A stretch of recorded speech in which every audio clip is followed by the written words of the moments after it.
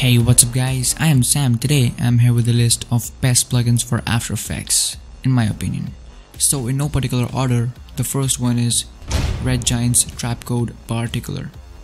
Particular is a particle system plugin that allows you to create organic 3D particle effects, complex motion graphic elements, and more. Particular can help you to create elements like fire, water, smoke, and other organic effects. So the next one is Revision's Twixtor. Twixtor enables you to speed up, slow down, or convert the frame rate of your image sequences with visually stunning results. Twixtor synthesizes unique new frames by warping and interpolating frames of the original sequence. Up next we have Video Copilot's Twitch. Twitch synchronizes random operators to create stylistic video effects for motion graphics and visual effects. One of the best features it has is the slide operator, as it creates an RGB splitting effect which is really cool looking. Alright, next we have Red Giant's Magic Bullet Looks. You must have already understood by the name that this plugin helps you to create powerful looks and enhance the color correction capabilities for filmmakers. Plus, it has an amazing user interface. Next is Video Copilot's Saber. Now Saber is a plugin that is 100% free. Yes, I'm not kidding. It's free.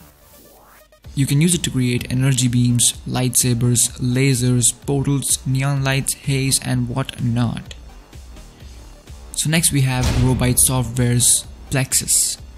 Plexus is a next-gen particle engine for After Effects that lets you create, manipulate, and visualize data in a procedural manner. Not only you can render particles, but also create all sorts of interesting relationships between them based on various parameters.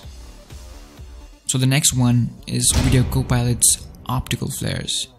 There are a lot of really good plugins to generate lens flares, but this is my favorite one. With optical flares, users can create custom realistic lens flares that work in 3D space. It also comes with a preset library and a kick-ass interface. Next up, we have Red Giant's Trapcode Form. Form is a grid-based 3D particle system with a slight twist. It can be used to create fluid, organic patterns, complex geometric structures, and swirling stringy animations. Form can also be used as an audio visualizer as it automatically generates stunning visuals for your audio. So right next we have Video Copilot's Element 3D. Element is one of the best plugins I have ever come across.